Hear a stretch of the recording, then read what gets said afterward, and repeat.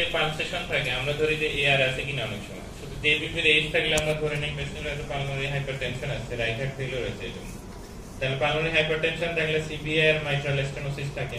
Pulmonary hypertension থাকলে PSD থাকে। এই কারও কারও লেট এর ক্ষেত্রে পালমোনারি হাইপারটেনশনে বয়স হয়ে। সেগুলো একটা ক্লু দিতে পারে। তাহলে প্রথমেই আমরা ইনস্পেকশন অ্যাপেক্স যেমন দেখা যাচ্ছে অ্যাপেক্স দেখে on inspection apex is in fifth intercostal space, lateral, medial to mid line. এই ধরনের কোনো কমেন্ট করা ঠিক না।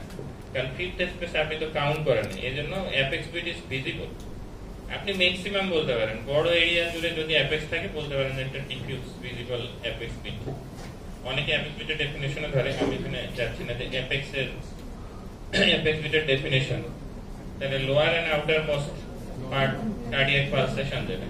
ডিফিউজ হলেও যেটা লোয়ার এন্ড মানে most prominent outermost pulsation হবে সেটাই হবে এখন প্রিকোডিয়ামের ডেফিনেশন অনেক সময় অনেকে জিজ্ঞেস করে, অনেক কিছু না পারলে। তাহলে প্রিকোডিয়াম হচ্ছে area of the anterior chest যেটা ওভারলাইজ হার্ট এই জন্য প্রিকোডিয়াম বললে কেউ যদি পিছনে গিয়ে এক্সামিন করেন, তাহলে সেটা জাস্টিফাইড হবে না। ওখানে তো হার্ট থাকে।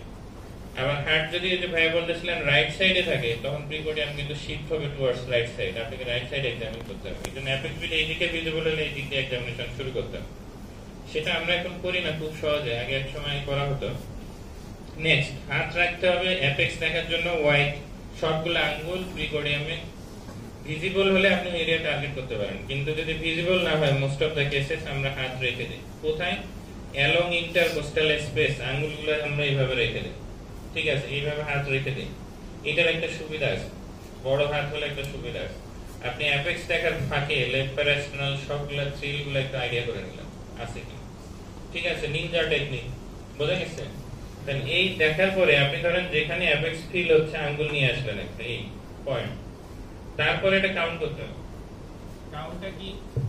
এখানে কাউন্ট করার অভিনয় হলো করতে হবে আপনি প্রত্যেকে এসে এক্সটার্নাল অ্যাঙ্গেল সাইডে গিয়ে তারপরে এই কাউন্ট করে আসলেন। ফিটা বের করা থাকে অনেক সময়। ফিটার ক্ষেত্রে আমরা বলি যে ম্যাক্সিমাম চেস্টের এক্সপানশনটা একদম মাপা হয় না। এই অ্যারাউন্ড পনেরো বিশ সেন্টিমিটার বাইরে ঝুলাই রাখবেন। এই পকেটে ঝুলাই রাখবেন, ডান পকেটে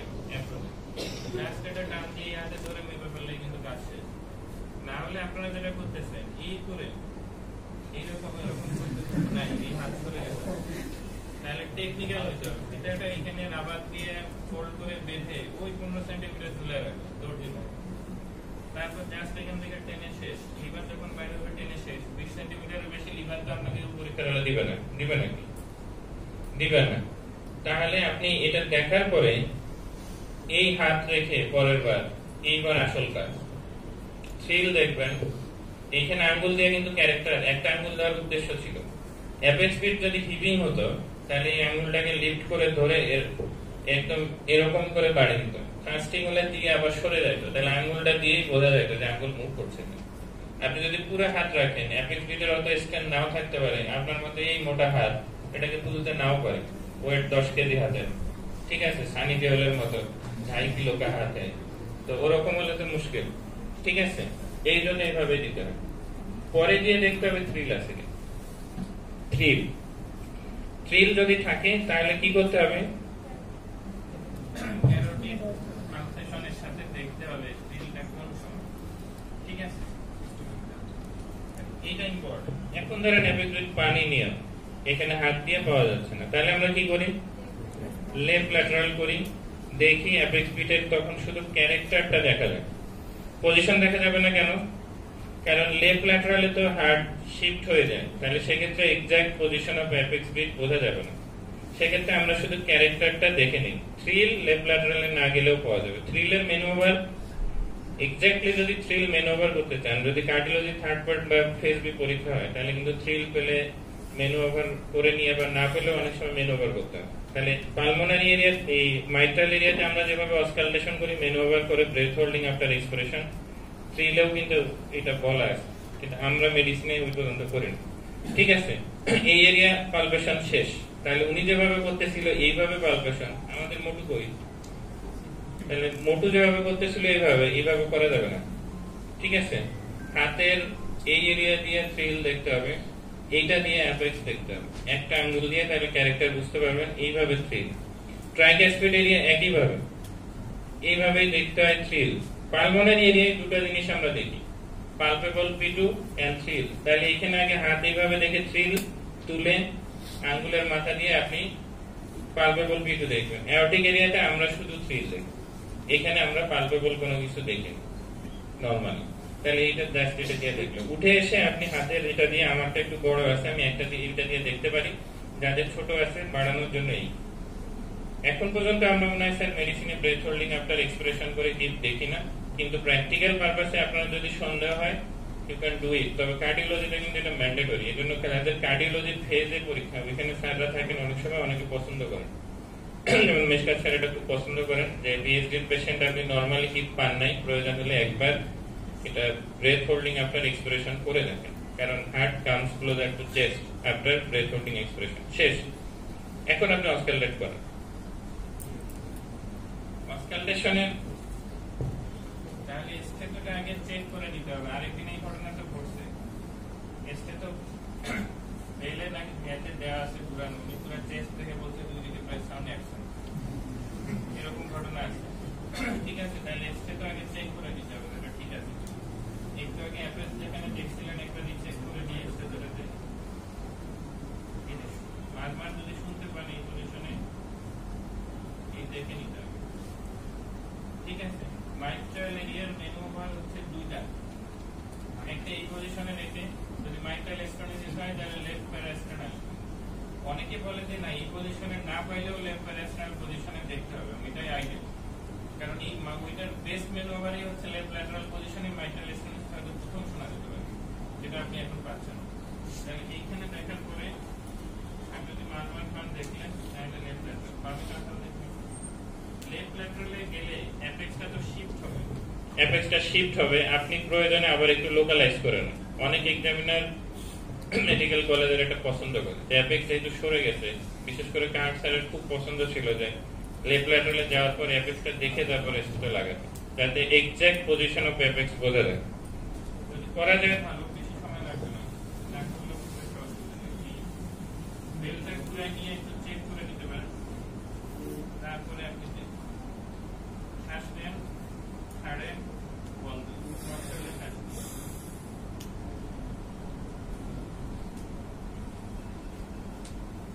এই, যদি আমি মারমার পাই যেখানে সিস্টোলিক মারমার একই সাথে রেডিয়েশনটা এই জেলাতে দেখে নিতে। যেমন সিস্টোলিক মারমার আছে, আপনি শোয়া অবস্থায় রেডিয়েশনটা এই পর্যন্ত চেক করে নিন। তাহলে আপনার মাইট্রাল এরিয়ান সব মেলোভার শেষ।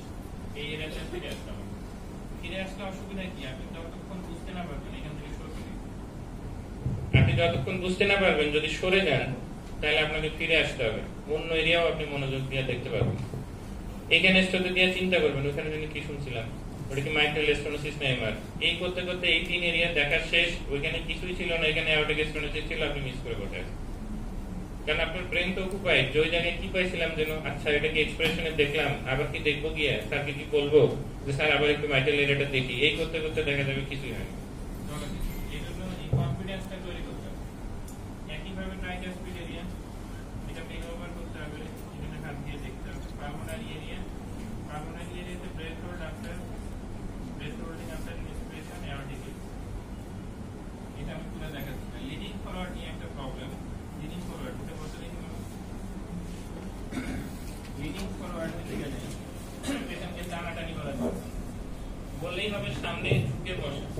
যেমন একটু সামনে ঝুঁকে বসে। হাতটা যদি এইখানে রাখে, এটা অবস্ট্রাকশন তৈরি করবে। দেখি একটু সামনে ঝুঁকে বসেনি এখন আপনি হাত যদি এইখানে দেন, তাহলে ওনার পক্ষে সামনে ঝুঁকে বসা পসিবল কারণ এটা সাপোর্ট দিবে অলরেডি সে ব্যাগ বিছানা থাকবে। তাহলে এইখানে যদি হাত রাখে আপনার জন্য দেখাটা ইজি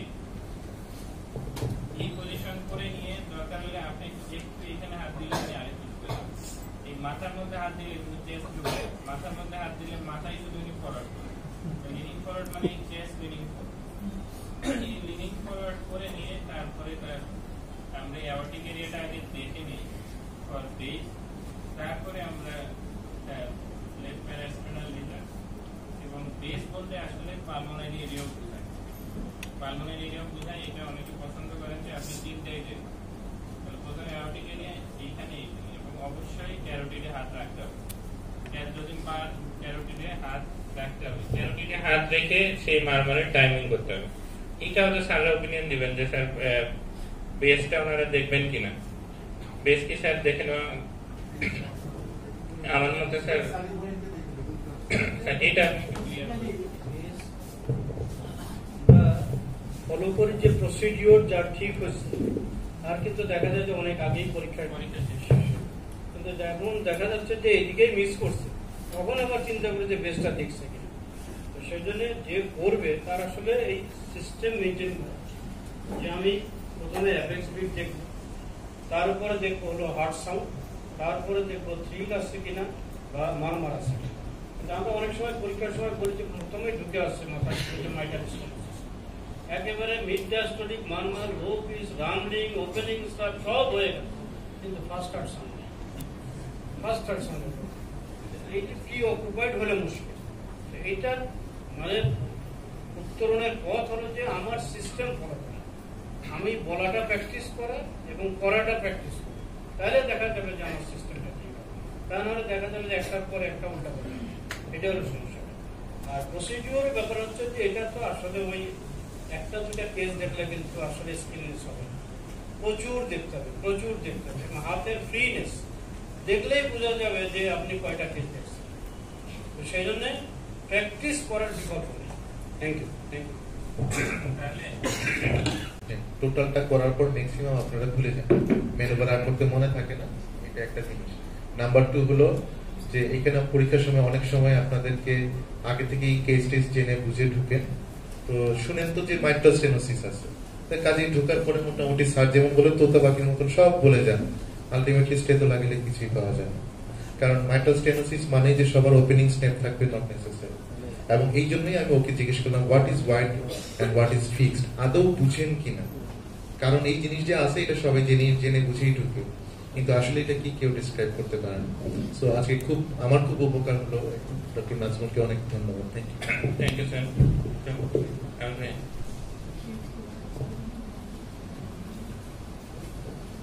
আজকে একটু বেশি সময় নিচ্ছি কারণ লিপ নষ্ট সবারই আসতে দেরি হচ্ছে।